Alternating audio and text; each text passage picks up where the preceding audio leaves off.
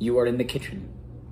You are told that you are supposed to create a healthy snack for your little brother, or for your parents, or for yourself. What therefore do we go to? The apple.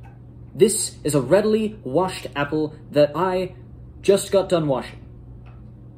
Now, would you say that the best way to prepare such a, such a delectable dish is to cut it into slices and serve it at a fi- uh, in a five-star fashion, very sophisticated and fancy? Would you say that is the correct measures we should take? I say so too.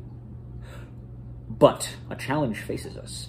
What are we therefore supposed to use to cut such a delectable, scrumptious Honeycrisp apple? Well, there are a variety of tools you could use. If you are a martial artist, you could do something along the lines of, well, smashing it with your hand.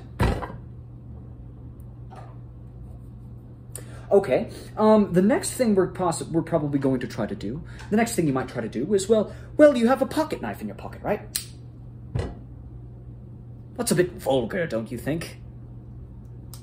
Using pocket knives to cut, cut knives.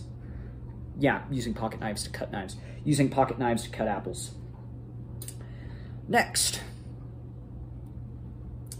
the kitchen knife. The serrated kitchen knife. As you see, this has the serrations necessary, of course, necessary, of course, in order to cut through this, to saw through this surface, the epidermis and the insides, very quickly and with great ease.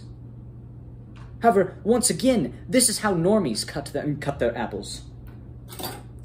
Shall we take this, son of a bitch? Well, it's massive, quite massive, and, um, could do some damage. I mean, uh, I will admit, I, I tested it. Al- I tested it already with uh, very little strength, and it was able to cut already halfway through it.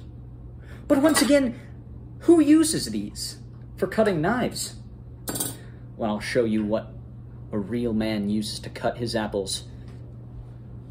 A secret weapon. That was supposed to be a lot cooler than it looked, turned out to be.